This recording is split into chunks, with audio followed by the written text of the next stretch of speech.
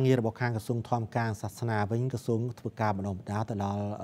អាចារ្យអាចារ្យនីទៅតាមទម្រង់ក្បួនច្បាប់ពីពិធីកម្មបុរាណខ្មែរថ្លែងនៅក្នុងពិធីបិទវគ្គបណ្ដុះបណ្ដាលស្ដីពីទូនីតិភារកិច្ចនិងក្រមសិលធម៌អាចារ្យខ្មែរចំនួនទី46នៅថ្ងៃទី30ខែសីហាឆ្នាំ2024មកនេះឯកឧត្តមចៅបរិនរដ្ឋមន្ត្រីក្រសួងធម្មការនិងសាសនាបានលើកឡើងថាក្រសួងមានទូនាទីបណ្ដុះបណ្ដាលអាចារ្យអាចារ្យនី ពីទម្រង់ក្បួនច្បាប់ពិធីកម្មបុរាណខ្មែរពីសម័យបុរាណអាយដាមរដ្ឋមន្ត្រីបានបន្តថាអនុវត្តតាមអនុសាសន៍ណែនាំដល់កំពង់ពោះរបស់សម្ដេចអគ្គមហាសេនាបតីតេជោហ៊ុនសានប្រធានប្រសិទ្ធិនិងជា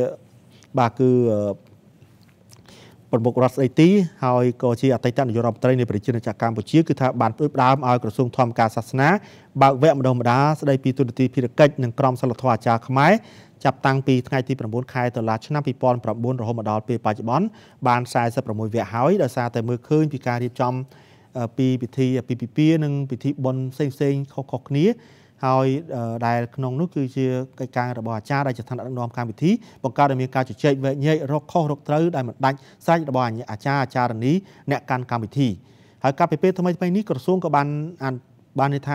ទទួលអនុសាសន៍ណែនាំដល់ខ្ពង់ខ្ពស់របស់សម្ដេចមហាបវរធិបតីហ៊ុនម៉ាណែតនាយករដ្ឋមន្ត្រីនៃប្រជាជាតិកម្ពុជាដែលបានថ្លែងក្នុងពិធីសម្ដែងសម្ដាលជាមួយនឹងអាចារ្យអាចារ្យនីទូទាំងប្រទេសលើកទី9កាលពីថ្ងៃទី15 ខែសីហាឆ្នាំ2024ឲ្យរៀបចំជំរុញបន្តបើកវគ្គបណ្ដុះបណ្ដាលតម្រង់ទិសអាចារ្យខ្មែរឲ្យមានការឯកភាពគ្នានៅក្នុងការដឹកនាំពិធីកម្មនានាតាមទម្រង់ទំនៀមទម្លាប់ប្រពៃណីរក្សាឲ្យបាននៅអត្តសញ្ញាណជាតិអភិរក្សវប្បធម៌ខ្មែរដើម្បីបញ្ជាវិបត្តិអាចារ្យផងដែរ។នៅក្នុងឱកាសនោះអាយដាមអំពាវនាវទៅដល់ព្រះសង្ឃអាចារ្យអាចារ្យនីទាំងអស់សូមនិមន្តនិងអញ្ជើញទៅលេងកំសាន្តនិង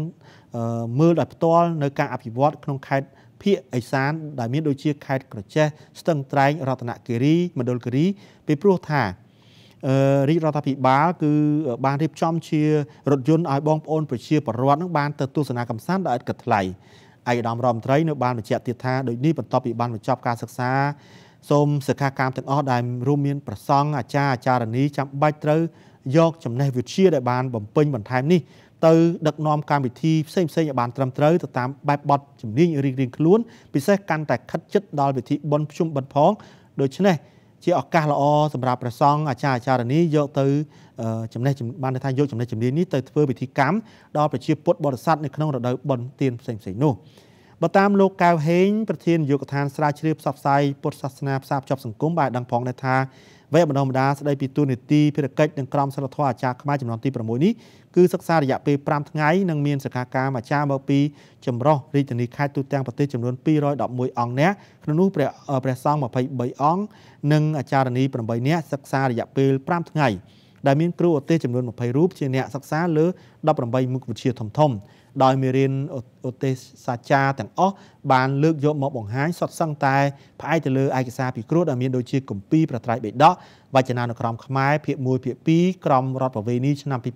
2007សិភៅក្បួនអាពាហ៍ពិពាហ៍និងឯកសារយោងពីអរិយធម៌ខ្មែរតាំងពីសម័យបុរាណជាដើមផងដែរ